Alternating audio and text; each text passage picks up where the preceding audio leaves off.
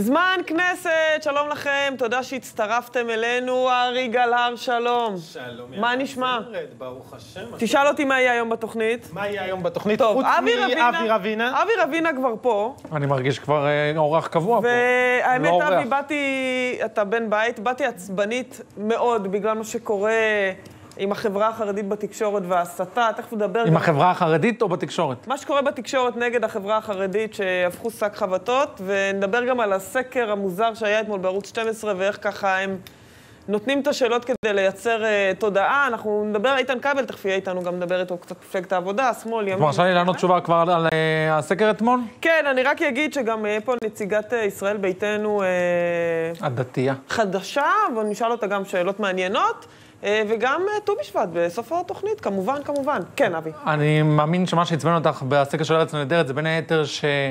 ארץ, תגיד מה ארץ נהדרת עושים. אה, סליחה, אני אומר ארץ נהדרת, אני מדבר על הסקר אתמול. מה שעצבן אה. אותך בסקר אתמול זה שהרוב בישראל לא רוצה ממשלה עם חרדים, אבל אני לא מתפלא, הסקר נעשה בערוץ 12, זה אותם צופים שכל ערב רואים את אכילת הראש של ערוץ 12 על החרדים, הפרת ההנחיות במגזר החרדי, ובסוף אתה מגלה שאיזה תלמוד תורה של הפלג ירושלים באשדוד פתח הידר. אותם צופים שרואים את ההסתה ערב-ערב, הם אלו שענו, אנחנו לא רוצים ממשלה עם חרדים. כן, לא אבל גם מתפלא. השאלות האלה, זה, זה, אתה יודע, זה, זה בסוף אה, לכוון את לייצר, אה. זה לייצר מציאות. אה, ארי, מה קורה? אה, בסדר, אני...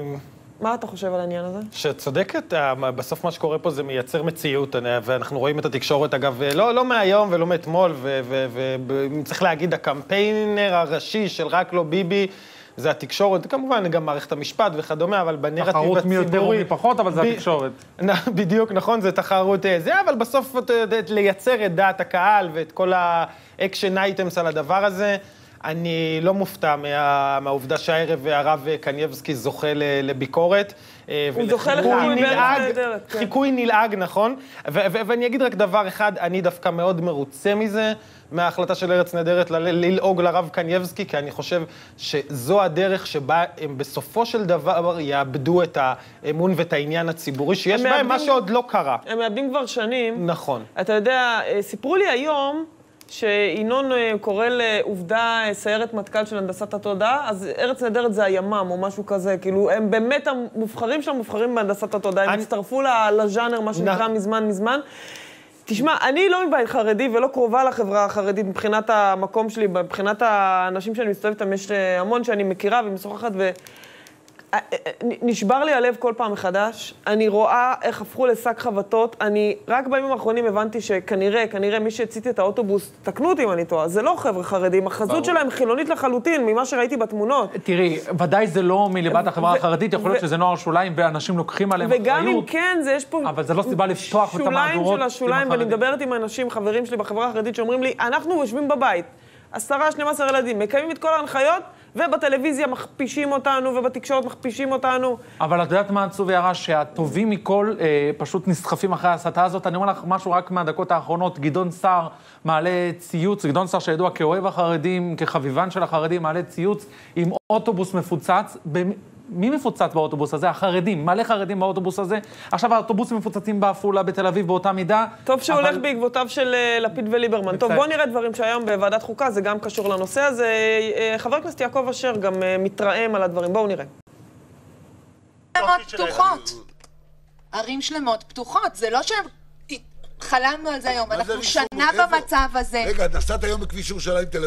אני נוסעת מנהריה כל בוקר, יותר? במחסומים ממך? ואני מקבלת את זה. פתוחה? בני ברק פתוחה? מוסדות חינוך פתוחים. עסקים ברק פתוחים, אם? היו סגורים לא היו קנסות, לא היית קופץ ככה. אתה קופץ כי מה? עסקים פתוחים. את יודעת מה? פשוט לא יאומן. פשוט לא מתבייש יאומן. מה לא יאומן? לא יאומן. שעה מתבייש. מאות אלפי כמו יום עסקים כיפור. סגורים בני ברק כמו יום כיפור. ואנחנו דואגים לעסקים הפתוחים? אם היה. פתוח, היו כבר כל הטלוויזיות שם. עזבו, עזבו. מאות אלפי עסקים. סגורים כבר שבועות. אנחנו צריכים כאילו לדאוג מה, את להם. סגורה ואנחנו לא סגורים. הילדים במקומות שלי לא בבית. הילדים שלי לא בבית. 4,000 ילדים נדבקו. גם בגלל זה, נכון. שהם לא- לא בחיכוך במקומות. שהם לא צריכים לא להיות. בגלל דברים אחרים. לא, הילדים צריכים לא להיות בבית. לא ואיפה שהם לא בבית הם לא. נדבקים. על מה אנחנו. מדברים? אתם לא מנסים לדבר כמו ליברמן? לא לא יודעים נתבייש, לעשות את זה האוכלוסייה. סגורה לא בבתים שבועות. רבינה, מה אתה אומר? תשמעי, הייתי היום בוועדת חוקה. מה אנחנו רואים פה בעצם? כן, בוא תתאר לנו. אנחנו רואים פה ח"כיות מכחול לבן, שאף פעם אגב לא נמצאות בוועדה, בוועדת החוקה, שדנה על נושאים באמת חשובים ומהותיים בכל השנה האחרונה, בענייני הקורונה והתקנות, יש שם יושב ראש מיהדות התורה, שהתברר כהכי לא מגזרי שיש, ועכשיו כשהדיון על הקנסות, פתאום מתייצבות להם שני ח"כים, שלושה ח"כים אגב של כחול לבן, גם איתן גינזבורג היה שם, ולוחמים את המלחמה בעד העלאת הקנסות, בעד סגירת מוסדות חינוך. איפה הם היו בכל החודשים האחרונים, ופתאום הם נהיו הדוברות לענייני המגזר החרדי, גברת תהילה פרידמן, האם אין לה קולות שהיא נבחרה והיא צריכה תכף לייצג נראה את אותם? תהילה פרידמן, תן לי בתמצית את כל העניין עם הקנסות כרגע, לאן זה הולך? תראי, מה שקורה זה שמחר בלילה, בחצות הלילה, אם המליאה לא תתכנס לאשר את הארכת הסגר, את התקן, אז ביום שישי מדינת ישראל פתוחה. אומרים בכחול לבן, מה אכפת לנו שמדינת ישראל תישאר פתוחה, אנחנו נצביע נגד, אם הקנסות לא יעלו כמו שאנחנו רוצים. עכשיו, החרדים והליכוד הלכו עשר צעדים לכיוון כחול לבן, אה, גם הסכימו שהקנס יעלה לעשרת אלפים שקלים, גם הסכימו לסגירת מוסדות בהתראה של 48 שעות. על זה מתנהל אגב כל הוויכוח בוועדת החוקה בשעות האחרונות. כחול, כחול לבן, שהם על סף ארבעה מנדטים, על סף אחוז החסימה, ממשיכים לעשות שרירים, כנראה זה ה, אה, הנשק האחרון שלהם. וזה מה שקורה, מאיימים טוב. שמדינת ישראל תיפתח, העיקר שהקנסות יעלו בדיוק כמו שהם רוצים. יש לנו עוד קטע להערות, אבל אני מבינה שאיתן כבל כבר איתנו, אז ארי, מילה שלך ונעבור ל... תראי, אני חייב מילה על, אפרופו כן. אילנה דיין קודם, מה שדיברת עליה. אז כן. אילנה דיין בסוף היא מייצרת את האקדמיזציה של התקשורת, זאת אומרת, את האירועים המוסמכים, לצ- כמובן שהצד, הש- ראש ח- חץ השני זה ארץ נהדרת. אבל אני, מס- אני רואה את אילנה דיין כמי שבא מהמגזר החרדי, פשוט כרבנית הכי חניוקית, הכי נודניקית, הכי מעצבנת, שהיא תמיד צדקנית הרבה יותר. כן. וכשאצל חרדים רוצים לתת דוגמה כזו, אז אומרים על הרבנית הזאת שהיא הולכת עם גרביונים של 90 דניאר. זה הרבה הרבה הרבה יותר מכל המחמירים. זה, כן, זה כן. לגמרי, זה כאילו הנודניקים של הנודניקים כן. של הנודניקים. כן. זה כאילו ש... זה, אבל זה- גם, אתה, אני גם שואלת מה, מה, אתה יודע, יש לך פה את ניסנקורן שדואג לבתי המשפט ולפקידים. יש לך פה את כחול לבן שדואגים להפגנות. ויש פה אה, נציגי מפלגות החרדיות שדואגים לציבור שלהם. מה... הם לא כמו שאבי אמר? יערה, מי מביא את ההסדר מול בתי החולים הציבוריים? יערה יערה. מסכימה איתך גם, הם עושים הרבה עבודה. יערה, וכמו שאבי אמר, החרדים הסכימו היום לרוב התנאים, אם לא לכל התנאים, אבל בכל זאת מישהו שם מחפש דלק ציבורי של שנאת חרדים כדי לעשות מנדטים, אבי, פשוט. כמה פתוחים מוסדות חינוך היום? באחוזים. תראי, מאוד בש"ס הכל סגור. מאוד קשה למדוד. בש"ס כל- הכל סגור. קודם כל, כמו שאת אומרת, בש"ס הכל סגור, וגם במיינסטרים הליטאי והחסידי, ליבת התלמודי תורה סגורים. בסוף כל המאבקים זה סביב הפלג הירושלמי וכמה חסידויות. עכשיו, הציבור החרדי הוא מיליון איש, אז יכול להיות שאפילו 100 אלף איש פתוחים זה עדיין כלום. ועדת חוקה, בואו נראה עוד קטע אחד עם תהילה פרידמן גם, כן. קודם שתניחו חוק, תביאו נתונים שבאמת יש תופעה כזאת של בעלי עסקים שהם מפירים חוק, שעל אף החמשת אלפים, את, אתם יודעים מה? חמשת אלפים בשביל עסק זה המון כסף. אז למה אתם מקפיצים את זה לעשרת אלפים? בתי ספר, אתה מסכים שיש תופעה? מה? בתי ספר יש תופעה? אני לא יודע. אצלנו, בחברה הערבית, לא אני לא יודע. אני לא דקה, יודע אם יש תופעה או אין תקשיבו. תופעה. תקשיב, אבל כאשר ראש ממשלה מבקש אישור מהרב. תפתח או לא תפתח, יש בעיה. יש בעיה, אבל לא, אבל לא. מה לא. מה אם ראש לא הממשלה פונה לרב? מה? למי, עם, מי ידבר עם הציבור החרדי אם לא הרב שלהם? חוק צריך לאכוף. מי ידבר איתם? חוק צריך לאכוף. את יודעת כמה- עם את זה? יודעת כמה שליחים? כמה שליחים הם שלחו לרבנים? כמה שליחים אתם? שלחתם לרבנים? כמה כולכם באים לרבנים ואחר כך יוצאים... היום אתם במצוקה, אנחנו לא באים לשום אני ומתגוננים לא על כל הדיבור, אני רוצה... בושה. לפחות בושה, אתם תהילה. בושה. לפחות, אדוני היושב-ראש, לפחות יאיר. גולן הוא עקבי. הוא אדם אתם עקבי. הוא אומר דברים שאני ואנחנו- לא אוהב, זה אבל הוא אומר אותם כל לא הזמן. לא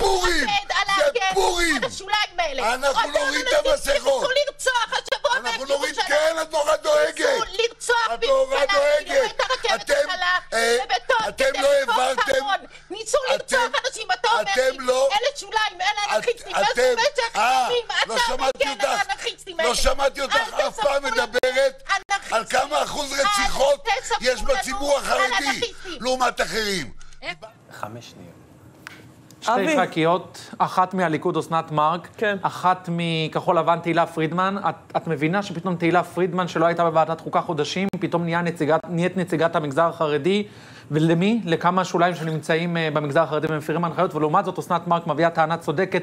ממתי אה, רבנים לא יכולים לדבר אה, עם מנהיגים פוליטיים? זה תמיד היה, אהוד ברק דיבר עם הרב עובדיה, שמעון פרס דיבר עם פרס, מנהיגים. לי- תגיד ליברמן. ליברמן ליברמן. עצמו היה אצל הרב קנייבסקי, ביקש ברכה, ניסנקורן. ניסנקורן. כש- כשהוא התמודד על יושב ראש ההסתדרות, הוא היה אצל הרב קנייבסקי, הוא ביקש ברכה, ועכשיו כשנתניהו משוחח עם הרב קנייבסקי, לא, זה פסול. הרי מה בסך הכל נתניהו רצה? שלא יפרו הנחיות, והוא יודע שזה הצינור בשביל שלא יפרו טוב, הנחיות. אבי, אנחנו נמשיך. ארי, ברשותך, כן, מילה. הפופוליזם של כחול לבן הצליח ל- ל- לנפץ את סמל הממלכתיות והשפיות של, של יעקב אשר שראינו לאורך כל הקורונה, וחבל, כי זה בסוף, לשם אנחנו מגיעים. ויש פה קרע שהוא, אה, גם אנחנו נראה אותו במערכת הבחירות. טוב, תישארו איתי, חברים, אנחנו נמשיך אה, אחרי השיחה עם איתן כבל. איתן כבל, שלום.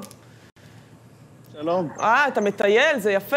איתן, אה, כן. מפלגת העבודה, מה נגיד, דמוקרטיה במיטבה, מה דעתך? קודם כל, אני מאחל למירב בהצלחה. ממש, אני אומר זאת בלי טיפת ציניות. אה, אני לא חושב שיש עוד אה, תקווה ועתיד, זה יותר הנשמה כמו באקמו, אבל באמת שיהיה בהצלחה. זהו? אה, אין סיכוי למפלגת העבודה להתאושש? אתה יודע, יש איזושהי אני- תחושה כזאת שמשהו חדש ככה מתחדש שם במפלגת העבודה, פריימריז לרשימה בשבוע הבא? תראי, שום דבר לא חדש, זו האמת. אה, אילו חשבתי שזה משתנה וחדש, הייתי מתמודד וציירתי מאות, אם לא הרבה מעבר, שפנו אליי כדי שאני אתמודד. אה, אה, יש רגעים שדברים פשוט נגמרים, פשוט מסתיימים, לא... נכון, לא רוצים לתת לה למות מיתת נשיקה. עכשיו, אני מאוד מקווה שמה שקורה בימים אלה, זה אה, לא רק, אתם יודעים, רק ראיתי אותו אתמול והנה הוא מת, הוא נראה אתמול מצוין. יש איזו אה, מכה כזאת שקצת מרימה, אבל זה לא מעבר לדשדוש, לצערי. זאת אומרת, זה לא אה, שאנחנו הולכים לקבל עשרה מנדטים, או מתחילה אה, תקופה חדשה במפלגת העבודה. כן. זה זה פשוט לא, גם האג'נדה היא אג'נדה של לנצח את מרץ, לא לנצח את העם, או להביא את העם אליהם. אתה יודע מה, בוא נשאל אותך ככה, אם אתה היית היום במקום שמייעץ, או, או ככה, ש, אתה יודע, יכול להציע, אה, להביע דעתך בעניין הזה, היית ממליץ על איחוד עם חולדאי, כחולדאי ראשון, אין חולדאי... ברירה. מה, אבל, אני לא אבל, נכנס אבל, עכשיו לשאלה. זה, זו אוקיי. השאלה, איתן, זו השאלה. אבל קודם כל זה נכון. ותשמעי, ובסוף, בסוף, כמו בהרבה דברים מן הסוג הזה, עושים סקרים ומקבלים את ההחלטה. אה, ואני מקווה מאוד שהאגו לא יהיה אפילו יותר גדול מהסקרים. כי בשורה כן. התחתונה, מה שקורה נכון לרגע זה, על פי הסקרים האחרונים, אה, תלוי באיזה סקר, תלוי באיזה יום. אה, מירב אה, נמצאת במקום הראשון עם ארבעה מנדטים, חולדאי ממש לצערי התרסק, וזה יכולה להיות גם כן נורת אזהרה מאוד מאוד גדולה כלפי מירב. אני רוצה להזכיר לכם שחולדאי התחיל ויצא לדרך עם עשרה מנדטים. בסוף בסוף יש חובה, זה לא צורך, זו חובה של כל הקבוצות האלה להתאחד, אה, אה, או למפלגה אחת שבראשה מירב או אה, חולדאי, והקבוצה השנייה זה הקבוצה של, בראשה עומד יאיר לפיד, ובסוף בסוף האמת היא, צריכים mm-hmm. כולם להתאחד סביב יאיר לפיד, ואני אומר זאת לא כמי שמתכוון להצביע עבורו או משהו אה, כזה. הפתעת אותי עכשיו. מה? הפתעת אותי. אתה לא, אני אסביר, להיות- אני מדבר על- אתה חושב שצריכה להיות מפלגה אחת גדולה שכולם תחת לפיד? אה, אני חושב שכן. אני גם אומר לך, אני אומר לך גם? למה. בוא, בוא, אבל אני לוקחת אותך למקום הזה, כי אני, אני מדלגת עוד אה, מדרגה. מה יהיה עם גדעון סער? הרי יהיה לפיד אה, מאוד גדול שכולם תחתיו, ואני ככה... כן, אוקיי, בבקשה. אבל זאת בדיוק הנקודה. אני מדבר עכשיו ממקום של פרשן, אוקיי? כן. אם הנחת, אה, אה, נכון לרגע הזה, לפחות על פי הסקרים, יש מצב, יש מצב, לא אמרתי שזה הולך לקרות, יש מצב להחליף את נתניהו, כל אלה שאומרים רק לא נתניהו. עם גדעון אוקיי? סער. עכשיו אני, מה? עם גדעון סער, עם תקווה חדשה. עם גדעון סער, כן, כן, כן, אוקיי. בוודאי, בוודאי, מבחינתך בוודאי. זה ברור שהוא שם, זה... זה... אני, לי בוודאי. כן, זאת אומרת, אם אוקיי. לא רק... אה, אה, אני לא רוצה להגיד, אה, אין פה עכשיו מהלך של רוח הקודש מתערבת. כן. ברור הוא שאם גדעון סער רוצה להיות, הוא יעשה, אין לו תהיה ברירה, הוא יצטרך לעשות רוטציה. אין כן. לו מספיק מנדטים נכון לרגע הזה. אז או שהרוטציה תהיה מול אה, בנט, שלהערכתי הוא מלא מלא כמעט, לג... אם אה, ילך בסוף עם אה, נתניהו, אין לו שום סיבה לתת מקדמה לגדעון סער, אלא אם כן גדעון סער ו... ורק לא ביבי בוודאות אה, חוצים את גבול ה-61 ולנתניהו אין בוודאות אה, אה, 61. אני אומר, אם כבר יש מצב להחליף את נתניהו, אז כדאי שהרוטציה תהיה בין גדעון סער לבין יאיר, ולא בין גדעון סער לבין בנט. או-אה. פשוט מאוד. כבר סידרת את זה ככה. יקרה- כן. מה? וכדי שזה יקרה, וכדי שזה יקרה, אתה חייב לגרום לכך שיאיר לפיד, שהוא הכי גדול בגוש, והוא כן. יהיה הכי גדול בגוש, אה, אה, בוודאי כפי שזה אה, נראה, נקודת המוצא שלו תהיה לא נתונה לוויכוח אל מול בנט ואל מול אה, טוב, יאיר. אני, אני אה, אומרת שאם יהיה אה, איחוד אה, של לפיד, אה, אגב, מבחינת אה, נתניהו והליכוד זה יהיה מושלם. אם אה, לפיד יתאחד עם כולם, כי אז פשוט לפיד יהיה מול נתניהו ראש בראש וגדעון סער יקרוס. ככה אני רואה את התמונה. אני אבל- יכול- אבל תשמעי, בסוף בסוף זה, את יודעת מה, אה, אני לא אגיד שזאת משאלת לב כזו או אחרת כן. טוב, איתן, אנחנו קצת... של האנשים. הנה. בשורה, כן. אוקיי? טוב, איבדנו את אה, איתן. יחזור אלינו? יחזור אלינו? הנה, חזרת אלינו. כן, תמשיך, כן, מאותה כן. נקודה. אני אומר, אם, אם המצב הוא מצב של כניסה, זה סיפור אחר, יכול להיות. דרך אגב, אה, מי שהולך להכריע את מערכת הבחירות האלה, נכון לרגע זה, כפי שהדברים נראים, זה כל אלה שמדשדשים גם בימין וגם במרכז-שמאל סביב הארבעה כן. מנדטים. ויש כן. רבים משני הצדדים, וקבוצה נוספת זאת החברה הערבית, כמה יבואו להצביע בנסיבות של הם הולכים ביחד, או הם אה, אה, כן. הולכים בנפרד, חד משמעית. אה, ואולי האכזבה מהם גם בחודשים האחרונים, אבל אני רוצה לשאול אותך עוד שאלה על עמיר פרץ. עמיר פרץ בעצם עוזב את מפלגת העבודה ונשאר בממשלה, מתפטר מחברותו בכנסת. קודם כל, עמיר פרץ לא עוזב, זו איננה לו הפעם הראשונה, הפעם הראשונה שהוא עוזב את מפלגת העבודה, הוא כבר יודע את, לעשות את זה בלי, בעצימת עיניים. זה אה, דבר אחד. דבר שני, לאכזבתי, אני אומר את זה אה, כלפיו, אה, עליו נאמר המשפט, זקנתו מביישת את אה, אה, נערותו. כל מה שהוא אמר שהוא לא רוצה שייכתב על אה, קברו, איך אמרתי היום את זה בכלי התקשורת בבוקר, כבר לא יהיה מקום מה שייכתב על המצבה שלו. אה, בבוא העת. כי ממש, ממש זה אה, נראה, אה, הסיום נראה רע, ולכן אני סברתי מלכתחילה שצריך היה לתת למפלגת העבודה למות מיתת נשיקה. זה לא מצב שעכשיו היא הולכת להיות המפלגה שתוביל בחזרה את גוש מרכז-שמאל אה, לימים הגדולים שלה. אוקיי? ממש טוב, לא. יגידו חבריך שאתה לא. פסימיסט ממש, אתה יודע, מנסים להציל לא, פה משהו. קודם כל, אני רוצה להזכיר לך שאמרתי זאת בצורה מאוד ברורה, 11 בינואר 2019, אברהם גבאי. עמדתי על במה, ואמרתי זאת בצורה שאיננה משתמעת לשתי פנים. כן. ולצערי, אה, הלוואי ואני לא יודע לחזות את המספרים בלוטו, כמו שאני ידעתי לחזות את המהלכים בתוך הפוליטיקה הישראלית בכלל ומפלגת העבודה אה, בפרט. כן. אפשר לקרוא לי פסימיסט, אפשר לקרוא, איך אומרים, לכנות אותי בכל שם. דבר אחד, המציאות מדברת בעד עצמה. איתן כבל, תודה רבה שהיית איתנו. תודה לכם. אה, מעניין. מבחינת איתן כבל, סער כבר אה, עם מחנה השמאל. אנחנו לא אומרים אידיאולוגית, אבל אנחנו אומרים... ה- אה, אני חושב שהוא אף. רחוק, נכון שזה משרת את ביבי, האמירה הזאת, שר עם מחנה השמאל, אז כמו שאת אמרת, כולם כרוכים. איתן אומר את זה. אה, איתן, טוב, אם אה, הוא קובע את אתה לא המהלכים. חושב, אתה לא מסכים איתו? לא, אני לא חושב שזה מגיע לשם, זה גם לא משרת את אני לא. מדברת אידיאולוגית, אגב, אני לא נכנסת עכשיו אידיאולוגית, אני לא, אתה יודע, אלקין, מבחינת דני הגוש, דיין. הבלוק. מבחינת הרצון שלהם להפיל את נתניהו, זו מפלגה שמייצרת שנאה בכל רגע נתון, ראינו את הסרטונים. חד אה, משמעית, גם ו- השבט הלבן, את רואה את כן. המתקפות ההדדיות בין הליכוד לגדעון סער, בסוף גם גדעון סער לוקח את זה למקום, אה, אני נגד מיקי זוהר, אני נגד מירי רגב, אני נגד אותם פרצופים שמשובטים כך אה, בליכוד. בליכוד עונים לו כמובן אה, מנה אחת אפיים, אבל אה, אם, אם זה כך, יכול להיות שזה לא מופקע. לפיד וסער בסוף עם אותה אג'נדה בעניין הזה של אה, אנחנו הלבנים, אתם השחורים. תראה, אני חושב שאבי אבי צודק, זאת אומרת, גדעון סער כנראה במהלך אה, מושכל החליט להמר על הצד, אה, על, על, על השבט הלבן, על הקולות האלה, שמה שנקרא, אה, מסתייגים ברמה גזענית, ברמת עם ניחוח אני לוקחת גזענות. אני. אומרת גזענות, לוקחת את זה עליי. אין בעיה. וגם כחול לבן, אגב. אין בעיה.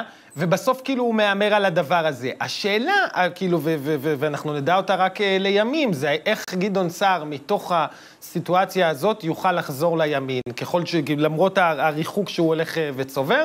שאלה מעניינת, כי לכאורה ל- ל- ל- ל- להגיע לראשות ממשלה, שאנחנו יודעים שזה בסוף מה שגדעון רוצה, מהשמאל הוא כנראה לא אגב, יגיע. לפחות בתקופה הזו, אגב, הוא פינטז על רוטציה, בינתיים הוא יורד בסקרים.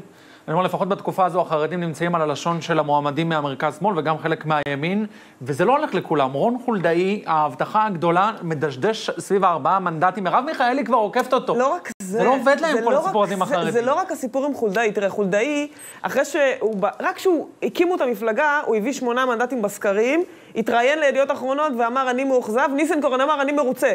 שבוע אחרי הוא כבר היה על שישה מנדטים. אבל, אבל ניסנקורן, איפה האיש? הרי האיש הביא את כל ההגנה שלו על מערכת המשפט, שלטון החוק.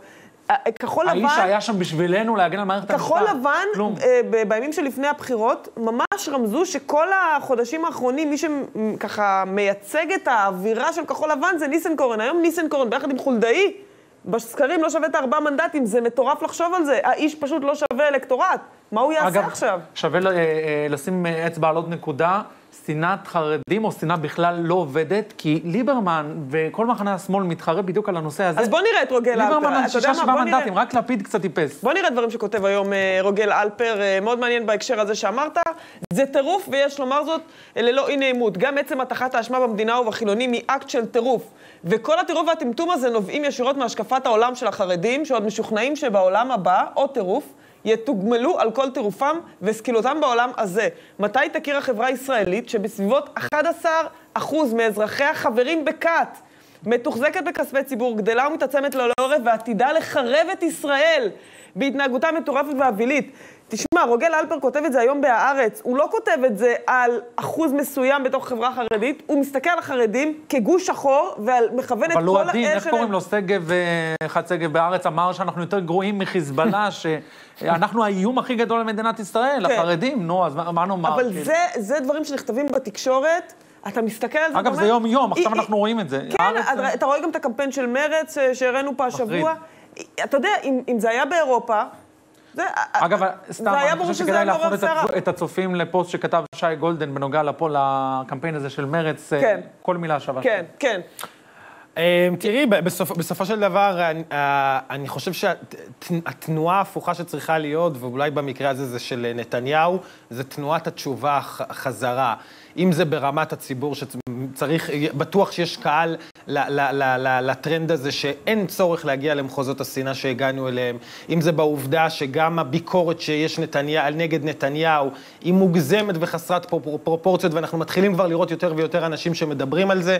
אני חושב שדווקא עם הליכוד וה- והמפלגות האלה ישכילו ללכת למקום המחבר, כי הן באמת שם, אולי זאת יכולה להיות התשובה יש פה איזשהו זמן, שאני לנגטיב יש פה איזה וייב, שעושים אז אתה מתחבר, אני רוצה. על הרקע שנראה את התמונה הבאה, עוד ציוץ שאנחנו אה, רואים היום, אה, כן, אדיב רפאלוביץ', אח של חברה הזמין מונית, וכשנהג המונית אה, ראה שהנוסע החרדי סירב לקחת אותו בטענה שהוא חרדי מפיץ מחלות, והוא כותב, אה, אה, הוא לא שכח לציין את זה שבגלל שאתה חרדי אני לא לוקח אותך, ממש במילים האלה, בגלל שאתה חרדי הוא מפיץ מחלות.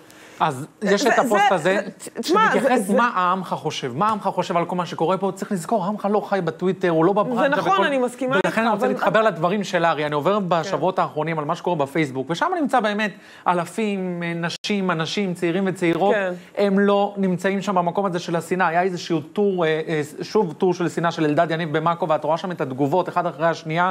הטור עסק בחרפה הגדולה ששתי חברות אה, תעופה יתחילו לשמור שבת, ואת רואה שם אחד אחרי השני, כולם מצהירים שהם חילונים. מה זה השנאה הזאת? מאיפה זה מגיע השנאה הזאת לחרדים? העם לא נמצא שם, ולכן אם נתניהו ידע לנצל את זה טוב, ולא להיסחף בעקבות שגם ראשי המפלגות מהשמאל הולכים לשם, נדע להיסחף דווקא למקום הזה של הקרבה. תשמע, אבי, אני. רוצה להגיד לך פה, אני הקדשתי זמן רב בתוכנית הזאת ספציפית לדבר על כל מה שקורה, גם על הקנסות, יש הרבה דיסאינפורמציה על כל סיפור חוק הקנסות עכשיו, נכון. שקורה, הרבה דיסאינפורמציה. יש הרבה הגנה של חברי הכנסת החרדים על העניין הזה. אגב, אני דיברתי היום עם, אה, עם מישהו, נציג שמקורב באחד המפלגות, תשמע, הוא אומר דבר נכון, הוא אומר, עכשיו אם יעלו את הקנסות, המשטרה הרי הולכת אחרי התקשורת, מה הם ירצו להראות? שהם הולכים לחברה החרדית, כי אחרי זה באים מראים אחוזים וכולם מרוצים בתקשורת. ילכו לחברה החרדית, ייתנו שם קנסות בחברה החרדית, וכולם מרוצים. הציבור החרדי אומר, תפסיקו לחבוט בנו. זה, זה נבחרי הציבור אומרים. אבל עם כל זה אני אומרת לך, ועם כל הזמן שהקדשנו פה עכשיו לעניין הזה וראינו את הדברים, יש פה איזושהי בעיה של חוסר תקשורת גם. אתה יודע, גם נבחרי הציבור של החברה החרדית, גם עם, עם, ה, עם החברה המסורתית והחילונית. יש פה דיסאינפורמציה שמגיעה מחוסר תקשורת, חוסר הסברה, חוסר... את אומרת חוסר פה- תקשורת, יש אני פה אומר over. תקשורת, over תקשורת כללית יוצרת את המצב הזה שחושבים שיש נתק בין החרדים לעם. חייב. לתקן, לא, אני לא אומרת שיש בין צודק, העם. זה אותם אלו ש... צודק, אני לא זה אומרת אותם אלו שהפכו את מפעל פרי הגליל לטובת... אה, העם, העם לא מטומטם, הציבור לא מטומטם, הציבור רואה הכל. אבל אני, הוא כשאנחנו מחפשים את הנתונים ואת המידע האמיתי, הנציגים של החברה החרדית ונבחרי הציבור, קולם כמעט לא נשמע מה שאת בתקשורת אומרת, אנחנו הכללית. צריכים קמפיין נגדי. לא, לא קמפיין, הסברה, לה- להגיד אבל למה לאנשים. רוצים שם בתקשורת הכללית את גפני או את יעקב אשר או את דרעי? בשביל להשמיץ אותו ולחפש אותו, ובשביל שהוא יגיד למה לא בלפור. יש דרכים, יש דרכים, כן. אני, אבי צודק אה, ממש, וזה כבר נראה כמו פינג פונג אה, בינינו כאן, אבל תראי. לסיכום, אבל לסיכום, תראי, ארי. כן, לסיכום. טבעי לשנוא אנשים כשמספרים להם סיפור, גם ב- ששמים, אה, אה, מספרים להם סיפור מזוויות לא מחמיאות, ובאופן לא פרופורציונלי, הדבר הטבעי שיקרה אצל בני אנוש זה הם- שהם ישנאו את מי שמספרים עליו כל כך נורא וכל כך גרוע. ולכן, אנשים, אנשים ש, שהיום, יש, היום משתוללת שנאת חרדים בקרב אזרחים רבים בישראל, והשנאה הזאת משתוללת הן אצל חלק מהשוטרים שפעלו באופן מוגזם, שאנחנו לא רואים אותם כך פועלים במקומות אחרים, נכון. והן אצל אנשים בשיח, בגלל שבסוף התקשורת, כמו שאבי אמר, שמה פנס ב, על, על זוויות לא מחמיאות, ובאופן חסר פרופורציונלי לקבוצות המקבילות האחרות בחברה הישראלית, וזה מה שאנחנו מקבלים. אם ילמדו אותנו כל היום לאהוב מישהו ויספרו לנו כמה הוא יפה ונעים, אנחנו נאהב אותו, ואם יספרו לנו כמה הוא רע ומגעיל, אנחנו נשנא אותו, פשוט מאוד. סיכמת יפה. פרסומות, חברים, אנחנו מיד חוזרים עם עוד עניינים. אבי רבינה, תודה.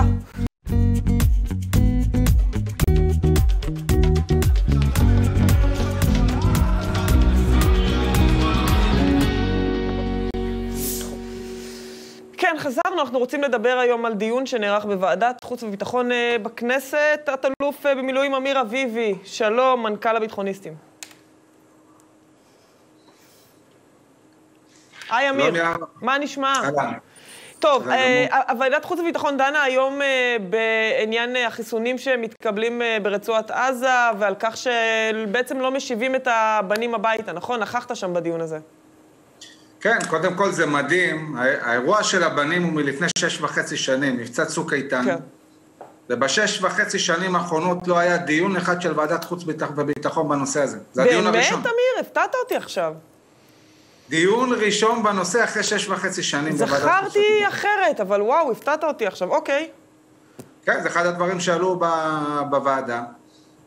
אמ, אז באמת אה, היום הייתה ועדה, הייתה מרובת אה, משתתפים, אה, גם בוועדה עצמה וגם אנשים שהשתתפו בזום. אנחנו כתנועת הביטחוניסטים הגשנו לפני איזשהו נייר עמדה בנושא, ובעצם באנו ואמרנו מספר דברים. קודם כל, החמאס היום נמצא במצוקה אסטרטגית מאוד מאוד גדולה. הוא מבודד מדינית, גם מדינות שכביכול מאוד קרובות אליו, כמו קטאר ואפילו טורקיה, שאפשר להגיד היא בעלת בית שלו, לאט לאט מתרחקות, ויש איזושהי התקרבות יותר גדולה על הציר הישראלי-סוני שהולך ומתגבש. כן. של המדינות המפרציות. הכלכלה שם במצב קשה, קורונה וכו'. נוצרה הזדמנות, נוצרה הזדמנות ללחוץ פה ולדרוש איזשהו אה, הסכם הומניטרי. אנחנו נעזור להם הומניטרית, הם יחזירו את הבנים הביתה. מה שמעתם בעצם- בוועדה? היה- היו שם איזשהם אה, תשובות שככה התקבלו שיחדשו לנו משהו בעניין הזה? אה, קודם כל זה דיון פתוח, צריך להגיד שנושא השון, של שבויים ונעדרים, הוא מתנהל בחדרי חדרים, נכון. בין אם זה בחינה של יכולות מבצעיות, מודיעין, משאים ומתנים דרך כל מיני מתווכים וכ- וכו', זה לא נושא שראוי לדון עליו בצורה פתוחה מדי, אבל הדיון הציבורי הוא כן חשוב, חשוב מאוד, ש, שחיילי צה"ל, האימהות, כל מי שמתגייס ידע שמדינת ישראל תעשה כל מה שנדרש בשביל להחזיר את הבנים הביתה. כן. לכן הדיון הזה מבחינה ציבורית הוא, הוא דיון חשוב מאוד. אנחנו רואים אה, ככה, תוך כדי שאנחנו משוחחים, רואים על המסך את אה, אחיו של הדר גולדין ואת אמו של הדר גולדין, גם דברים שהם אמרו שם בוועדה. אה, על, על, באמת על ה... צריך להגיד, יש פה איזשהו אה, משהו שאנחנו לא מצליחים להבין, העברת חיסונים ו... ולא, ובכלל לא מדובר פה אה, על איזשהו, אה, אתה יודע, איזשהו כיוון, בכיוון של השבתם וכולי. טוב, קודם כל אני רוצה להזכיר, אתמול היה אה, הרצאה של הרמטכ"ל, שבטח תדבר עליה גם... נדבר, נדבר, נדבר בוודאי. כן, הרמטכ"ל התייחס לנושא השבויים ונעדרים. הוא אמר דבר חשוב, הוא אמר, תראו, יש מקלות ויש גזרים, מבחינתנו, עד שלא חוזרים אה, הבנים, יש פה קו אדום, שאנחנו לא נחצה אותו, לא נעזור אה, מעבר לדברים מסוימים. אני, מה שאמרתי בוועדה, אמרתי, בסדר גמור, אני מאוד מסכים עם הרמטכ"ל, בואו תסבירו מה הקו האדום הזה, מה כן ומה לא. טוב. ופה הייתה באמת ההזדמנות לדבר על זה ו- ולנסות להבין מה זה הקו הזה, שאני חושב שהוא לא כזה ברור. דרך אגב, צריך להגיד, אף אחד לא העביר אה, חיסונים לעזה, יש בסך הכל 100 חיסונים שבאיזשהו הסכם כזה או אחר עברו לרשות הפלסטינית ב- ביו"ש, ל- ל- לצורך אה, אנשי, אנשי רפואה מעל גיל 60, אבל גם זה, יכול להיות שגם זה לא היה צריך לקרות. כן. טוב. צריך לדון על זה ברצינות, צריך להבין מה כן, מה לא. אוקיי, אמיר, אה, בוא נדבר קצת אה, על הרמטכ"ל כוכבי, בוא נראה קטע קטן מהדברים שלו אתמול. ראינו לאחרונה עם חילופי הממשל בארצות הברית, האיראנים הודיעו כבר שהם רוצים לחזור להסכם הקודם. אני, אני מבקש לומר את עמדתי. עמדה שאני אומר אותה לכל המקבילים שלי כשאני פוגש אותם בכל העולם. חזרה להסכם הגרעין מ-2015, או אפילו אם יהיה זה הסכם דומה עם מספר שיפורים, היא דבר רע ולא נכון. הוא רע מבחינה אופרטיבית והוא רע מבחינה אסטרטגית.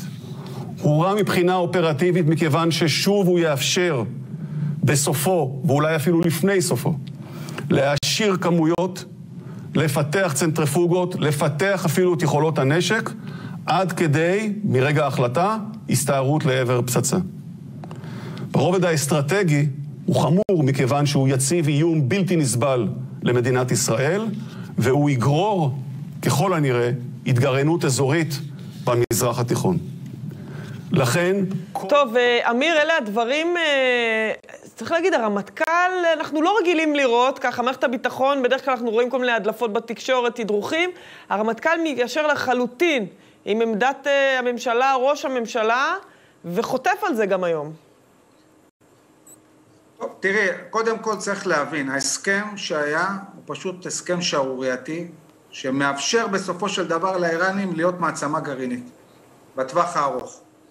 ומדינת ישראל אה, עמדה על זה וממש דיברה בדיוק על איזה סעיפים הם הסעיפים שמאפשרים לא, לאיראנים בסופו של דבר להגיע לגרעין, על העובדה שהטילים הבליסטיים בכלל לא מופיעים בתוך ההסכם הזה, על העובדה שכל נושא הפיקוח שם הוא חלקי, הוא עמום, הוא לא ברור, זה הסכם כניעה, זה לא, זה לא הסכם גרעין.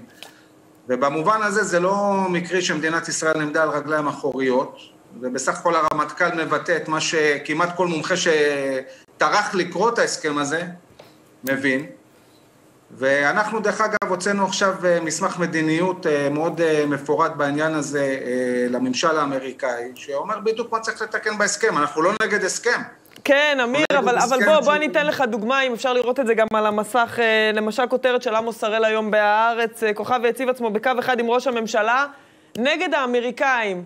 תשמע, זה, אתה יודע, ואנחנו שוכחים בכלל שהיה פה איזה משהו קטן בדרך, חשיפת, חשיפת ארכיון גרעין, עניין שולי כזה שמדינת ישראל הביאה וחשפה לכל העולם, שהאיראנים שיקרו לכולם. לכולם, אם אנחנו רואים את הכותרת עכשיו על המסך, זה עמוס תראה, אני אומר לך שהתייחסויות של חלק מהעיתונאים וגם של חלק מהפוליטיקאים זה מתקפה, אמיר, אנחנו מכירים את זה, זה מתקפה. זה פשוט מתקפה. כן, תראי, עם כל הכבוד, עם כל הכבוד, שהאמריקאים נוקטים במדיניות שמסכנת ביטחונית, אני לא רוצה להגיד קיומית, את מדינת ישראל, אז צריך להגיד אמירה מקצועית בעניין הזה, זה לא בושה, זה לא קשור להתיישרות לראש הממשלה. נכון. זה קשור זה לא- להבנת זה לא מציאות. קשור. זה- זה לא קשור, ארי, ארי, מה זה כן, קשור ארי, לראש שאלה. הממשלה? זה זה קשור לא לזה קשור, אני שההסכם מסכימה איתך. זה לא קשור, אבל זה אמיר, אז, התקשורת. אז, אז, אז, אז דווקא אולי, זה- אולי זה לא קשור לראש הממשלה, אבל אולי זה כן קשור לכך, לפחות בתחושה שלי, שהרמטכ"ל כוכבי הביא ל- לשיח ולז'רגון הצבאי את העובדה שהוא, אם תרצה, הבריון של אה, מדינת ישראל כראש הצבא, שצריך לדאוג שפה כולם יבינו אה, את משחק, את משחק הכוח. מה שלא ראינו בעבר, שאולי ראשי, ראשי הצבא הלכו למקומות שהם יותר פוליטיים, חברתיים. מה קורה ב- ב- מהזווית הזאת? תראה, הרמטכ"ל כוכבי זה רמטכ"ל שמבין את התפקיד שלו. לצה"ל יש רק תפקיד אחד, לנצח. זה כל התפקיד שלו. התפקיד שלו ברגע האמת, שיש איום ביטחוני, להכריע אותו. וזה רמטכ"ל שבא להכריע את האיומים.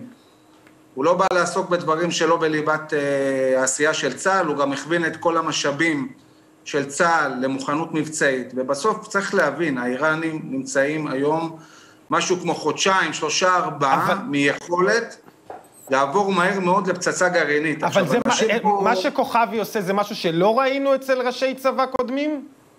מבחינת המוכנות תלוי, עצמה. אני חושב שקודם כל תלוי איזה. יש כאלה שיותר, יש כאלה שפחות, אני לא פה עכשיו לחלק ציונים... אה, לא, אבל האם, אנחנו, לרמטכ"לים. האם, האם אתה יכול להגיד שכוכבי לקח את זה צעד אחד קדימה, שהוא מוכוון מטרה רק על הדבר הזה, מה שלא ראינו בעבר? אני חושב שהוא הרבה יותר מחודד על הצורך של צה"ל אה, להכריע את המלחמה הבאה, בין אם זה במעגל האיראני, ובין אם זה בעזה, ובין אם זה בלבנון. דרך אגב, הוא אמר שם עוד כמה דברים מאוד מאוד חשובים בהקשר הזה. כן. למשל, בהתייחסות שלו לכל הנושא של מדיניות תקיפת אה, מטרות אה, במבצע הבא או במלחמה הבאה, זה ש... מה שהוא אמר, אנשים לא יודע כמה היו קשובים לזה, זה שינוי רדיקלי מהמדיניות שהייתה בצוק איתן. כן. אם אני הייתי חמאס, ואני מקשיב לרמטכ"ל מה הוא אמר, לא הייתי מרים ראש בכלל. כן. הייתי יושב בשקט. תת-אלוף במילואים אה, אמיר אביבי, יושב ראש הביטחוניסטים, תודה. תודה רבה. תודה רבה. ארי, רק תזכור, מה, איך איזה חיבוק קיבל, שם. תרשום, סגן הרמטכ"ל יאיר גולן שדיבר על תהליכים.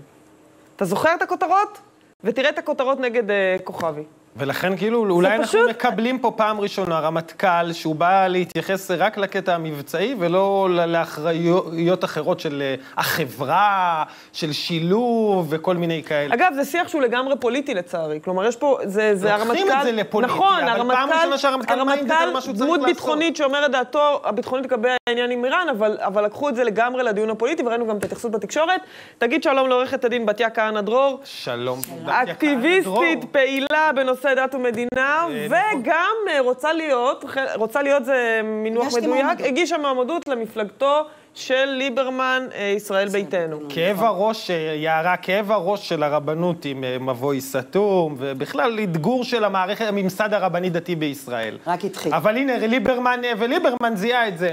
ליברמן זיהה, וגם אני זיהיתי את ליברמן בתור היעד הכי נכון, לעשות שינויים אמיתיים סוף סוף אחרי כל השנים שמדברים על הצורך בשינוי ביחסי דת מדינה, ביחסי אה, מדינה חרדים, סוף סוף יש מישהו שגם יעשה ולא רק ידבר על זה, ולכן זיהיתי את ההזדמנות הזאת והחלטתי להגיש את המועמדות שלי למפלגת אה, ישראל ביתנו. ראה, אני, אני חייבת להבין. כן.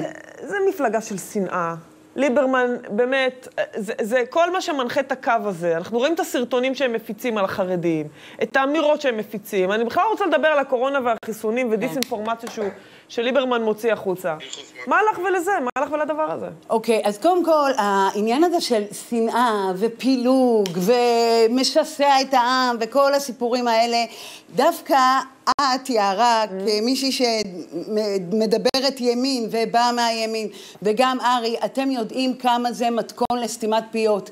אתם יודעים, אה, כשאני מתווכחת עם אה, שמאל, אז זה נגמר כשהם אומרים לי, את גזענית ואנטישמית, ובזה זה נגמר, ואי אפשר להגיד את האמת. אי אפשר להגיד דברים, ואי אפשר לדון, ואי אפשר להתעמק, וזה מה שעושים כרגע אפשר לליברמן. להגיד הכל, אני בעד תיכון. אנחנו יודעים איך סותמים לנו אפשר פיות. להגיד הכל. ולצערי... אבל סרטונים לצערי- שמוציאים את החרדים... מה זה מוציאים את החרדים? אז כאילו נדבר זה על זה. עכשיו מפלצות ש... אוקיי, יערה, מפיצים פה על מחלות. בואי, בואי נדבר. קדימה. אף אחד לא הוציא אה, מפלצות, בטח לא אני. אני אדם שבעיניי ערך לימוד התורה הוא ערך עליון. ערך כן. עליון, ו- ואני בטוחה שיש כמוני מסורתיים ודתיים וציבור כללי, אבל התופעה שקרתה במדינת ישראל היא לא קשורה ללימוד תורה. נוצרה פה חברת לומדים שבעצם אה, לא נותנת את חלקה לסל המשותף הזה, ומק- ו- ועם, ועם זאת היא מקבלת. עכשיו, במשבר הקורונה פשוט ראינו את זה בצורה, זה קטסטרופה מה שקורה, אבל הנפגעים הראשונים, הנפגעים הראשונים הם קודם כל החרדים. הרי חברה שמכבדת את זקניה, ושמצוות כיבוד אב ואם בשבילה זה אחד הדברים באמת המעוררי התרגשות. אני, יש לי כל כך הרבה לקוחות חרדים, ותמיד אני מתרגשת כשאני רואה מה זה לכבד בחברה החרדית, אבא, אימא, מבוגרים. אבל כשליברמן מדבר כזאת- על החרדים, הוא מדבר סליחה, באופן לא, גורף רגע, על יערה, החרדים. חברה כזאת, חברה כזאת יצרה פה אה, אה, נתונים של תמותה וגובה תחלואה, ואנחנו רואים, הנתונים מראים. תאשימו את ליברמן, מה ליברמן קשור לזה? מה, מה, מה, לא הבנתי, לא הבנתי. החברה החרדית יצרה חברה פה... חרדית בהתנהגות שלה יצרה אה, תחלואה ותמותה. עכשיו את מדברת על החברה החרדית, באופן מאוד החברה כולל, החרדית. באופן רגע, מאוד אז כולל, זה- בוא- בוא לא ואני אומרת. לך שרוב החברה החרדית לא, לא, מקפידה על. ההנחיות. הנתונים, הם יכולים- הנתונים, הם יכולים להקפיד, אבל- הנתונים אבל זה שרוב מתקיימים, המבוגרים- הנתונים מתקיימים בסופו של דבר, כי מה? לעשות, כן, אני אגיד, אבל משפט. הנתונים בסופו של דבר אה, גבוהים, כי מה לעשות, אה, משפחה חילונית מסורתית חוזרת הביתה במשפחה של שניים, שלושה ילדים. לא, זה לא רק זה. ומשפחה חרדית, יש עשרה, 12 זה ילדים. לא רק זה, עמד אה, יהודה משי זהב ואמר, זה הייתה מסיבת חנוכה רבת משתתפים, זה חתונות, זה ישיבות, זה, זה לא נכון להגיד את זה. עכשיו, אני לא אומרת, יש בעיות אובייקטיביות. נכון, יש בעיות של אה, צפיפות וכולי, אבל זה לא הסיפור. רבותיי, יש פה סיפור הרבה יותר עמוק. מי שמחפש את הבעיה מתחת לפנס של הקורונה, אז, אז, אז, אז לא ייקח אותנו למקומות הנכונים. אם הציבור החרדי והציבור הישראלי בכלל כן. חושב שמה שקורה עכשיו בקורונה זה לא הזדמנות לחשבון נפש, כן. ו- ו- ו- ורק רוצה שנטייח ולא נגיד, ולא נגיד את האמת, ו- ו- ורק באמת נדחוף הכל אה, הצידה. ועכשיו, אה, כל, כל ביקורת, אנחנו נגיד, לא, זה שנאה. עורכת כן. הדין כהנא דרור, תשמעי, אה, המונולוג הזה שאמרת עכשיו, תסלחי לי, אבל כאילו, באמת, שלא לא שם ערך המוסף שלך אצל ליברמן כדי להגיד עוד הפעם כמה החרדים הם כאלה. לא, לא, מה, מה, לא מה, מה, את- מה, מה, מה בסוף, הרי אנחנו, כמו שאמרנו גם בהתחלה, את הקמת את מבוי סתום. לא, לא זה- הקמתי. את, את ניהלת את מבוי סתום במשך הרבה שנים. זה היה כאב ראש לרבנות, אתגרת אותו. מה את רוצה להביא, בהנחה שתיכנסי לרשימת ישראל ביתנו ולכנסת, מה את רוצה להביא שם, שעד היום ישראל ביתנו לא עשתה? זה בדיוק. העניין הוא שמישהי כמוני, שבאמת מכירה את המערכות מבפנים, מה זה אתגרתי, מה זה הייתי כאב ראש, אני דרשתי... מהצד שלהם? אני דרשתי זכויות לנשים. אני דרשתי, לא יכול להיות שהיהדות מחזיקה אישה כשבויה. זה לא יהודי, זה לא מוסרי, זה מה שדרשתי, שבמדינה יהודית הרבנות תתנהג כמו... בהתאם למוסר היהודי ההומניסטי. ולכן- זה לא קיים היום. אוקיי. רגע, שנייה. לצערי... אבל זה מילה כללית. לצ... לא, לא, זה לא כללי בכלל, זה מאוד ספציפי. לא זה לא קיים היום. זה רגע, הכי כללי. לא, לא, לא. זה, זה, זה מאוד מאוד ספציפי. אנחנו יודעים את הפתרונות שקיימים. כ- כמי שהקימה בתי דין אלטרנטיביים, אתה יודע עם מי הקמתי את בתי הדין האלטרנטיביים שלי? עם אה, אנשים במאה שערים. אוקיי. והם נתנו לי פתרונות. אז זאת הבעיה שלנו, שהפוליטיקה, רגע, אז מה, שהפוליטיקה אז הביורוקרטיה מעורבת- הגיעה גם לחרדים? אחת הבעיות שלנו, הגדולות מאוד, זה הערבוב בין הפוליטיקה לדת. הפוליטיקה הורסת כל חלקה טובה בדת. אם הייתה הפרדה, ובאמת היה פה שוויון, אה, אתה יודע, כל אחד היה הולך לבית הדין שלו, כל אחד היה הולך לפי דרכו, היהדות הייתה פה פורחת. אנחנו בטרגדיה. היהדות במדינת ישראל היא בטרגדיה, אז ישראל שרק ביתנו שנייה. תדרוש את הדתות? רגע, רגע, אני אגיד עוד יותר מזה. היום, אם חוק הלאום חצה את אה, העם היהודי, וחלק כבר אומרים, אם יש חוק לאום, אני, אני רוצה מדינת כל אזרחיה. מה הבעיה בחוק הלאום? לא, ההפך, אני בעד חוק הלאום. אה, אוקיי. אני חושבת שמדינת ישראל היא מדינת היהודים, וזה ברור. על, על בסיס זה הציונות קמה. זה מה שליברמן מחזיר אותנו, להבין שציונות זה לא דת. ציונות זה יהדות, זאת מדינת היהודים. עכשיו רגע, זה שהרבנות היום מחליטה בשבילנו, היא, מחליטה מי יהודי מי לא, מי יתחתן מי לא, איך נתגרש, מה נעשה, את זה. יהדות. היום אנחנו שבויים? כולנו, שבויים כולנו בתוך אה, תפיסה דתית של יהדות. זה לא ציונות. המהפכה הציונית מרדה בדת הגלותית, בשטייטל. היא ואת מרדה בזה. מתחברת לזה? היא בעצם ואת יצרה... מתחברת, כאישה דתייה את מתחברת לזה? בוודאי, אני אוקיי. נאמנה באורחות חיי להלכה. יש לי בן בישיבת הסדר, שמה שהוא עושה, הוא? מראה לחרדים שאפשר גם, לא רק הוא. אז התפיסה הציבורית היא מדינה חילונית? לא, זה לא מדינה חילונית, זאת אוקיי. מדינה יהודית. אבל היום הרבנות לוקחת אותנו למדינת הלכה. אוקיי. וזה יפורר אותנו, כי זה ייצר את הקיטוב של מדינת כל אזרחיה. לא רוצים יהדות, רוצים כל אזרחיה, לבין מדינה דתית. אם אנחנו נלך בכיוון של מדינה בתיה, דתית, תגידי, את לא מרגישה, בתיה אנחנו כהנא דרור, שאלה אחת. סליחה יערה, כן. בתיה, את לא אנחנו מרגישה, נחריב פה הכל. בתיה, עורכת הדין כהנא דרור, את כן. לא מרגישה שליברמן אולי קצת מנצל אותך בגלל שכרגע השיח הוא אנטי-חרדי ולוקח אותך אליו כדי להתנגח במפלגות החרדיות? וביום ראשית- שאחרי זה כנראה לא כל כך יעניין אותו? ראשית, ראשית. נכון. ראשית, אה, ליברמן עוד לא לוקח אותי. אני הגשתי מועמדות כמו כל אזרח, גם אתה וגם יערה יכולים להגיש. חלום אז, אה. אז בוא נתחיל מזה. אני הגשתי מועמדות למפלגה. שנית, מנצל? הרי זאת האג'נדה שלי כל חיי. אני נלחמת למה למען נשים למה עגונות. בתשתית הזאת? אני נלחמת... למה בפלטפורמה הזאת? כי זאת הפלטפורמה, יש ציונות למה? דתית, למה? יש מצידי כחול לבן, אבל איפה את יודעת... ביבי? איפה ביבי בכניעה שלו לחרדים? הרי ראש איך הגענו הממשלה עד היום? נתניהו, תראי. סליחה. את אומרת שיש איפה גניעה. ראש הממשלה זה עד היום? הדוגמה, לא רק זה. נתת, בתיה, נתת עכשיו את איפה הדוגמה? המדהימה, רגע, אני לא איפה דיברתי בדיון נתניהו? הזה. איפה את נתת? עכשיו את הדוגמה המדהימה כן. לפייק ניוז הכי גדול שיש. פייק ניוז? כן. כי כשמדינה נכנסת לסגר, וכשמדינה מתמודדת עם משבר כלכלי, בריאותי, היא צריכה לרתום את כל אה, אה, החברות במדינת ישראל, את החברה הערבית והחרדית והחילונית נכון. וכולי. אם יש אדם אחד יחיד במדינת ישראל, מנהיג אחד, שיודע לשתף פעולה, אולי גם לבנט ול- וזה, ניתן את זה, אבל מנהיג באמת שיכול לשתף פה פעולה עם החברה החרדית והמנהיגים שלה, זה נתניהו. וזה שליברמן לא מבין, וכל הזמן ההתנגחות הזאת. ליברמן ו- אה, היה הרבה יותר מחובר לרבנים מנתניהו. ובסדר, היחיד שיכול לשתף פעולה היום עם. החברה החרדית והמנהיגים את שלה זה נתניהו. וגם למה- אנחנו רואים את קמפיין השנאה של ליברמן, ושל שוב- לפיד, ושל שוב גנץ, את חוזרת שאמר על בני קמפיין ברק. השנאה. זה מה- קמפיין מה יש פה שנאה, זה? קמפיין שנאה. רגע, רגע, אני רוצה להגיד משהו. כן. תראו, אנחנו יודעים את הנתונים בבני לא, ברק. רק, רק, רק, את רק נתוני להגיד. ככה, אם מישהו חושב שהיה אפשר להנהיג פה את המשבר בלי לשתף פעולה עם החברה החרדית והמנהיגים שלה, יש פה. טעות גדולה מאוד. אי אפשר ללכת ראש לא בראש. אגב, הציבור המסורתי, הגישה שלו זה ללכת בדרך של, של חיבורים ושל, אה, ושל אה, שיתוף פעולה, וזה מה שאבישי בן חיים גם מדבר עליו כל הזמן, שזה מה שש"ס הרבה פעמים עושים, לחבר, לחבר, לחבר, לחבר, כל הזמן למצוא את הנקודה הטובה כדי לחבר, ולא ללכת ראש בראש. בואי- אוקיי, אז אני רוצה להגיד שני דברים. קודם כל, לעניין אה, נתניהו, איך את מסבירה ש... אה, מי שהיה רוני גמזו, מי כן. שרוני גמזו שהציע באמת לעשות אה, סגר דיפרנציאלי, כן. שבערים שנתוני התחלואה גבוהים באמת יעשו סגר, Mm. ובערים שהן ירוקות יאפשרו לעסקים להיפתח. איך את מסבירה שזה לא קרה? טוב, הסגר הדיפרנציאלי. קרס בכל מדינה. שהוא נהג בה. אילולי, לסיום, אנחנו צריכים אילולי. רגע, אילולי אה, באמת אה, העובדה שהערים האדומות היו הערים, ה... היו הערים האלה עם נתוני התחלואה מאוד גבוהים, היו הערים החרדיות, ו... ו... לא רק. ונתניהו לא רצה לעשות טוב. את זה. רק שנייה. משפט אה, נקודה לסיכום, אני חייבת משפט. לסיכום. אתם יודעים, יש, אה, יש אה, ניסוי שפרופסור דן אריאלי נורא אוהב להביא, על אנשים שנותנים להם, אנשים רנדומליים שנותנים להם סכום כסף מסוים, והם צריכים, והם יכולים גם לשמור לעצמם, גם להכניס לקופה המשותפת, במידה והם מכניסים לקופה המשותפת כולם, זה מכפיל את עצמו, מתחלק בין כולם. יום אחד אדם אחד לא הכניס, והוא הרוויח, כי הוא השאיר לעצמו וגם קיבל את התמורה, אבל יום למחרת, אף אחד לא הכניס. וזה בדיוק היום הסיפור החרדי. כן. הסיפור החרדי בעצם, אם אנחנו לא נהיה פה שותפים באמת, ובלי הסיסמאות האלה,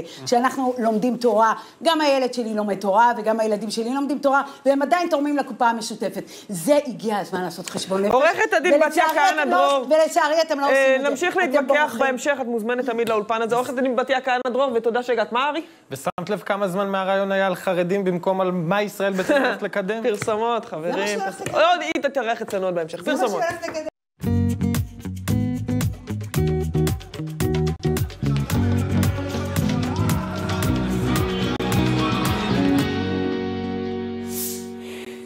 אה, טוב, חזרנו, אנחנו רוצים לדבר. אה, היום אנחנו גם אה, מציינים את יום השואה, הבין, יום הזיכרון לשואה, היום הבינלאומי, שנת 2021. יושב ראש ההנהלה הציונית של ההסתדרות הציונית העולמית, יעקב חגואל. מר חגואל, שלום. ערב טוב, שלום וברכה. טוב, אז קודם כל היה היום אה, דיון, אה, נכון, בוועדה בכנסת. נכחת בדיון הזה? כן, בהחלט. ספר לנו. היה דיון מאוד מעניין בוועדת עלייה, קליטה ותפוצות של הכנסת. אה, דיון לאור הנתונים של העלייה באירועים האנטישמיים הדיגיטליים בעיקר היום, יש בשיח האנטישמי בדיגיטל. והדבר השני היה דיון אה, נוקב על אה, מצב אה, ניצולי השואה היום בארץ, והיה מאוד מעניין. בוא נדבר על אנטישמיות, מה שאנחנו רואים בצל מגפת הקורונה, כי גם בעניין הזה יש פה כל מיני עלילות טעם חדשות שאנחנו רואים. בהחלט, אבל צריך לתת לזה קצת רקע, צריך להבין. מהמם.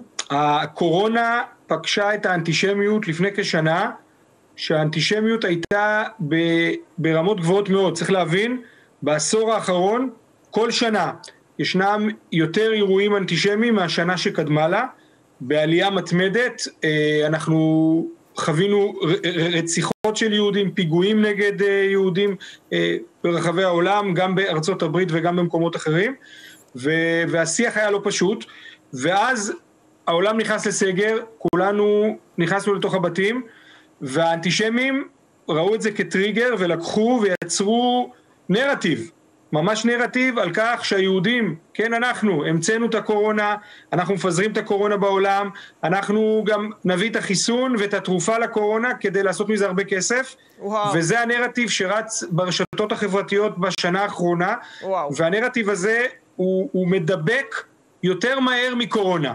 אנשים פשוט מדברים על זה, וזה הופך להיות שיח לא פשוט. אנחנו בהסתדרות הציונית העולמית מנסים אה, לנטר את, המידעים האלה, מנסים אה, אה, לתת מלחמה שערה בתחום הזה, אבל זה, לא- פשוט בכלל.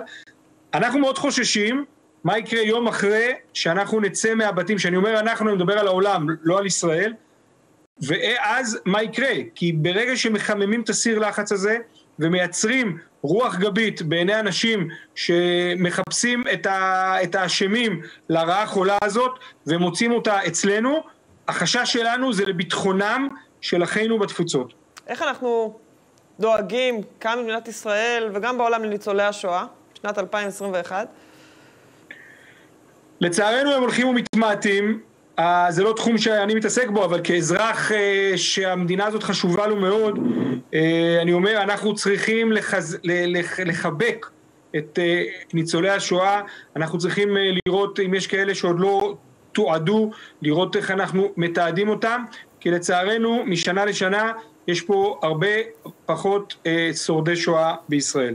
טוב, ובוא נסכם ככה עם ההתמודדות. דיברנו על כל הגילוי האנטישמיות. איך אנחנו מתמודדים? מה, מה התשובה שלנו בהסברה, בהעברת המסר אה, ל, בכלל לכל העולם?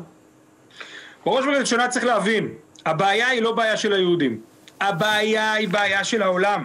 הבעיה שמנהיגי העולם צריכים להבין ששנאת הזרים הזאת היא היום על יהודים, מחר זה על זרים אחרים, והם כן, אבל צריכים מר להיאבק חגואל, בה. תרשה לי, מר חגואל, תרשה לי. השנאה ליהודים היא... יש בה משהו ייחודי. אני בעניין הזה, ככה, אתה יודע, אנטישמיות היא לא... זה לא סתם שיש מילה מיוחדת לשנאת יהודים. א', א', זה לא שנאת יהודים, אנטישמיות היא לא רק יהודים עם כל העמים השמיים. אם אנחנו כבר כן, מדקדקים, אז גם אני נכון, יודע נכון. אבל, אבל, נכון, אתה צודק, אבל אתה, בכל זאת, בכל זאת, למ- למי זה מכוון, אה, אתה יודע, הכי הרבה, אבל בסדר, כן, ברשותך. חד משמעית את צודקת, כן. חד משמעית את צודקת, אבל אני רוצה לחדד את המסר שלי הוא כזה. בבקשה.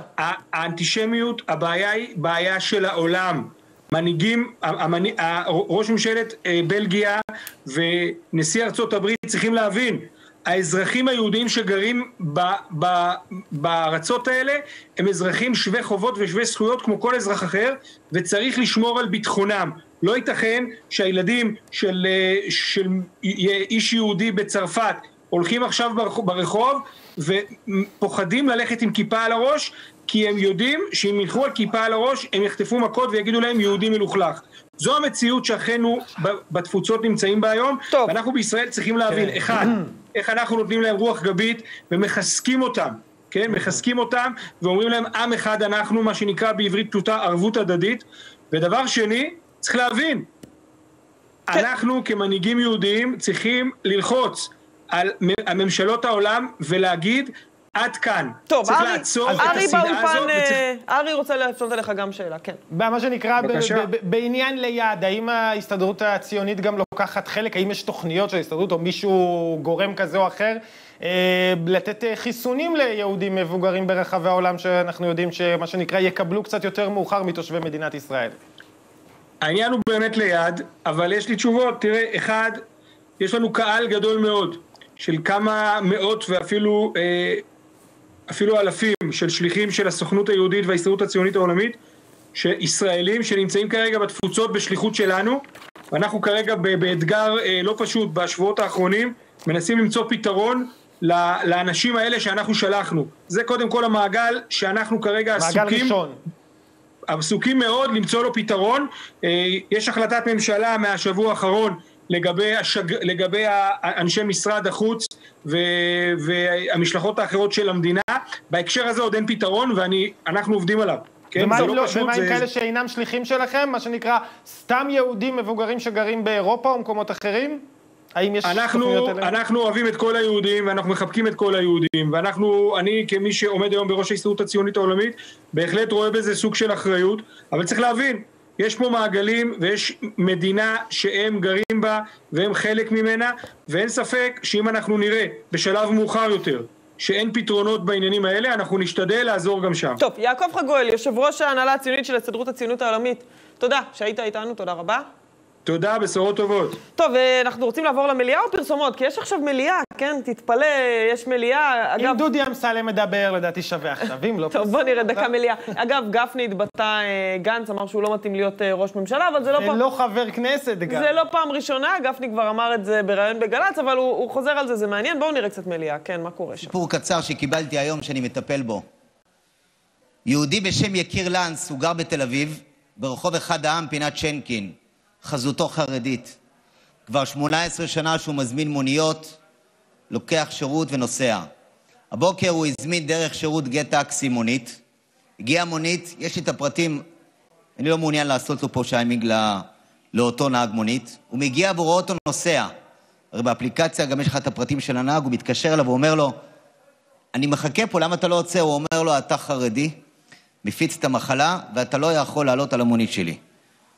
הוא אמר לו, אתה שם לב מה שאתה אומר, לא מדובר בעיר אדומה, מדובר באזרח, כנראה שהוא גם איש הייטק.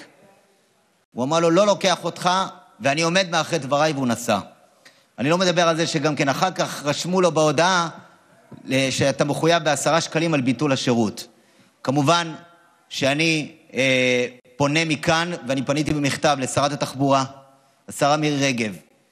כמובן שמדובר בעבירה על החוק, איסור שירותי, אה, אה, שירותים ציבוריים, סעיף 3, אה, התש"ס 2000, שאסור לעשות את האפליה הזו. אני אבקש לזמן את אותה חברת מוניות לממונה על התחבורה הציבורית לשימוע עד כדי שלילת הרישיון.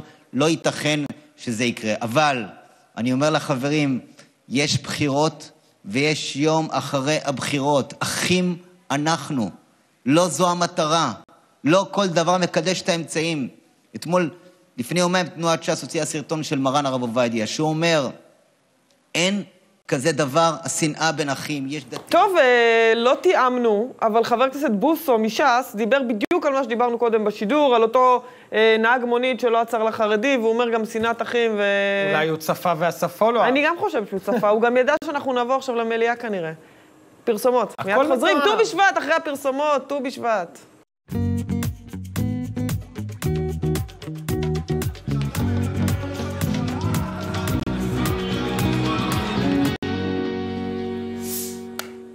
חברים, בואו נדבר על ט"ו בשבט. שלום לרב שמואל סלוטקי. אמרתי נכון? הרב סלוטקי? שלום וברכה, אכן. אה, טוב, אה, נגיד אה, ככה, אה, אנחנו רוצים לדבר על, אה, על אה, ט"ו בשבט ומה... בוא תן לנו דבר תורה קודם כל, בוא תן לנו אה, כמה דברים שלך. הכנסנו את ה... בסדר גמור. ט"ו בשבט מאוד אה, מעניין ומרתק מבחינת המהפך שעבר היום הזה במסורת ישראל. בעצם במסורת ההלכתית, התנאית, ט"ו בשבט הוא מהווה יום של אה, בירוקרטיה שבו אנחנו עוברים מסוג מסוים של מעשר לסוג אחר. משנות אה, עורלה לשנות רבעי, מקדושת שביעית ללא קדושת שביעית, עניינים הלכתיים שקשורים לפירות ולאילנות.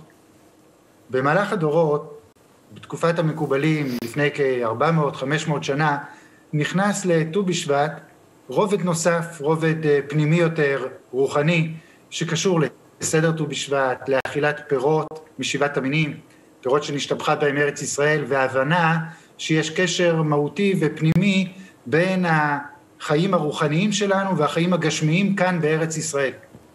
והתהפוכה השלישית חלה בט"ו בשבט עם ההתפתחות של הציונות, הישראליות, העלייה לארץ, בוודאי אחרי קום המדינה, אבל עוד לפני כן, בעצם כבר ב-1884 התחילו ביסוד המעלה לטעת עצים ביום ט"ו בשבט, למרות שאין קשר הלכתי או דתי בין נטיית עצים לבין התאריך הזה של ט"ו בשבט. אנחנו יודעים היום שמבחינה בוטנית זה אפילו לא רלוונטי לטעת עצים בתקופה הזאת, זה לא המועד המתאים. אבל הקשר לארץ וההרגשה של השייכות, של נטיית שורשים, של התקבעות פה באדמה ובארץ שלנו, בוודאי נותן את הנופח אבל הנוסף. ראש השנה לאילנות זה לא, זה, זה, זה לא משהו חדש. נכון, אבל זה לא, זה לא ראש השנה בשביל לטעת בו אילנות, אלא זה ראש השנה שקשור לפירות. כמו שאמרתי, לעניין נתינת המעשר, אם זה הולך לעניים, או שזה הולך לאכילה בירושלים עם הכוהנים והלוויים. אוקיי, אז אם דיברנו על הציונות, איך אתה רואה את המנהג? אגב, לי פה באולפן יש פירות יבשים, אבל אצלי בבית אנחנו אה, מברכים על פירות טריים של ארץ ישראל. איך אתה רואה את המנהג הזה שנשתמר כאן עם הפירות היבשים בארץ ישראל?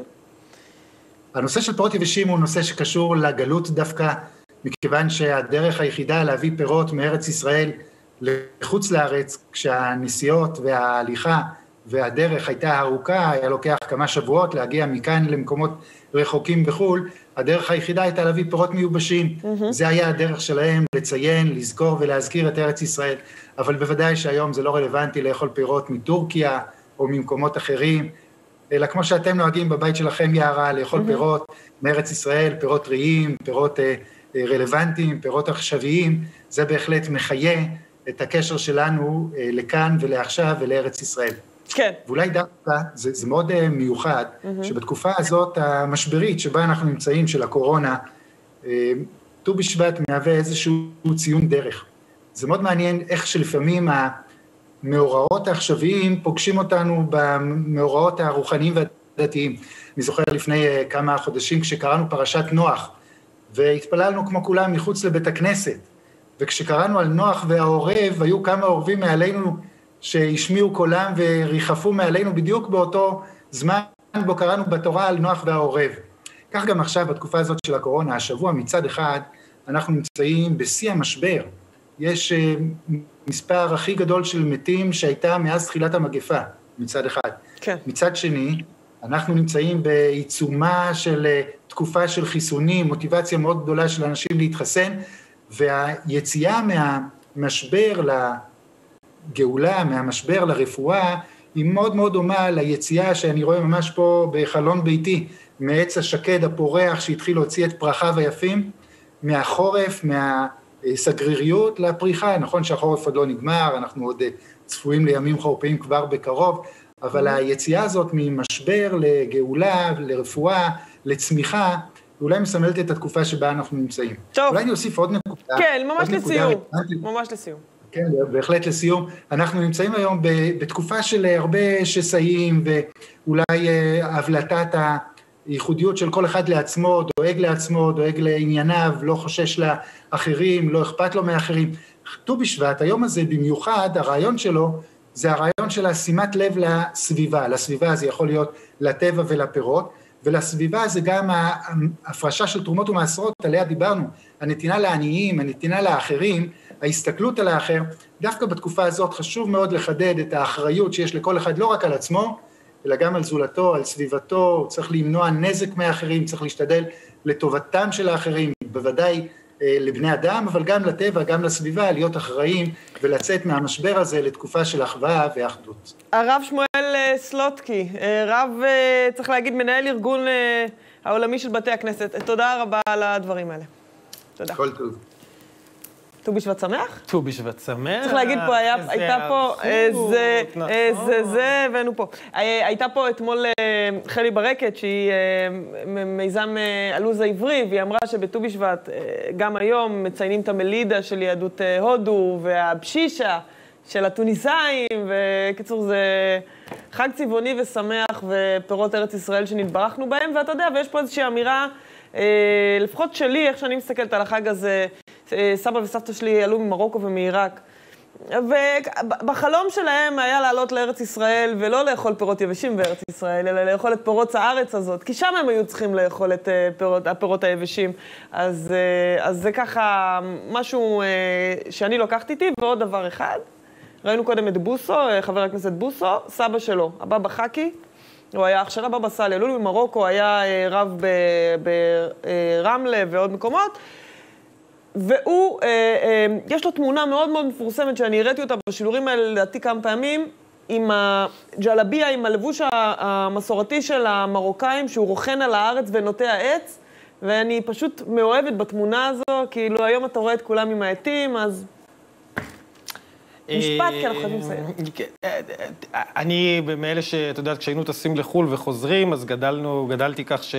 את יודעת, אתה יורד, אתה, אתה בנתב"ג בן גוריון לפני המדרגות למטוס, אתה מתכופף על הארץ ומנשק את הרצפה.